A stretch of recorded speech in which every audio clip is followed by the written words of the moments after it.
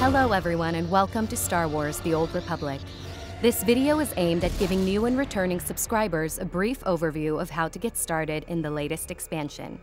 Star Wars The Old Republic Knights of the Eternal Throne.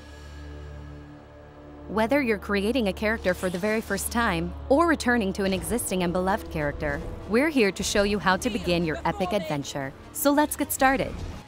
If you have never played Star Wars The Old Republic before, then the first choice you will have when logging in is to decide what server or home galaxy you would like to join before creating your first character.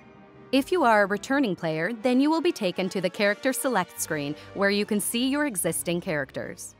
If you have a character that has completed the Knights of the Fallen Empire or the KOTFE expansion, then you can jump right into the new Eternal Throne game expansion by selecting that character and simply clicking the play button.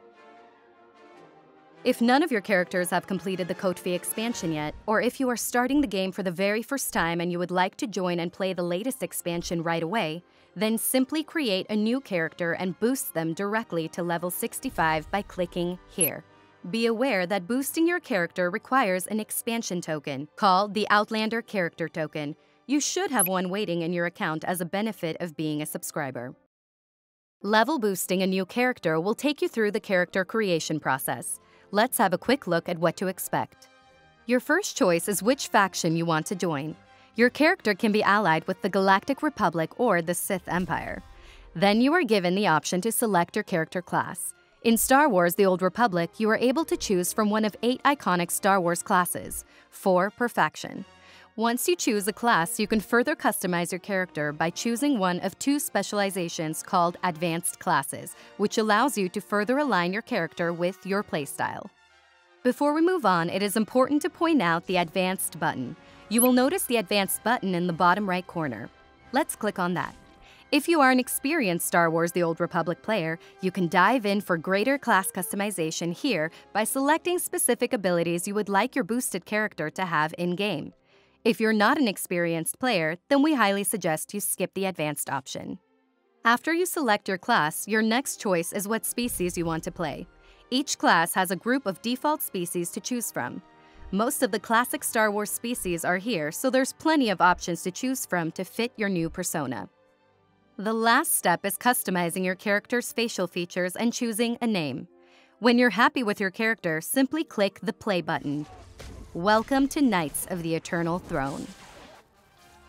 Before we continue, if you are completely new to SWTOR, you might want to check out our Controls Overview Guide.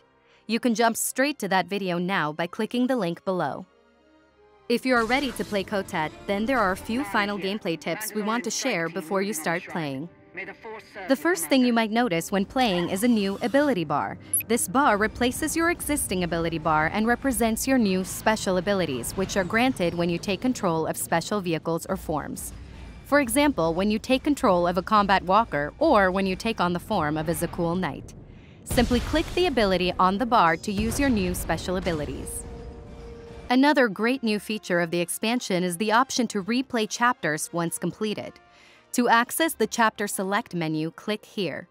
Not only can you replay chapters again, allowing your character to make new choices and experience different story paths, but you can also replay them at a higher difficulty level for a greater challenge and better rewards. And last but not least, keep in mind that the storyline and many other features of SWTOR can be played together with others. Grouping and playing together is a great way to meet new people and experience new gameplay, like Uprisings. By pressing the O key, you can bring up the social window which gives you access to features that allow you to friend and group with other players. With enough players in your group, you can form a guild. Pressing the G key will bring up the guild menu. By joining together and playing with other players in a guild, you will be granted bonus experience that allows your character to progress more quickly through the ranks of character advancement. And with that, we wrap up our brief overview of how to get started playing KOTET. Now you are ready to jump into the expansion and join the fight. If you have further questions or want more information on a certain system, please check out the SWTOR website or the SWTOR YouTube channel for further information. And may the Force be with you.